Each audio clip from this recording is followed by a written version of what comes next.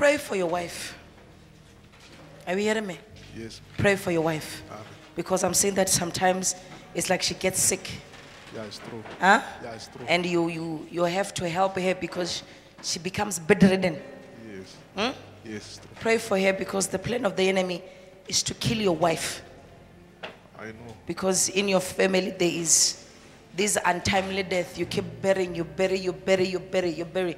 Now they want to take your wife. I know. She told me. I know. Huh? She told me. She told you Yes. your wife will not be the victim this time. Are you hearing me? Amen. The book on a life of a victorious Christian, Volume 1 by Apostle J.B. Makananisa is now available at bookstores and online at Amazon, Barnes & Noble, Booktopia, Outskirts Press. Get your copy now and your life will never remain the same. Shalom.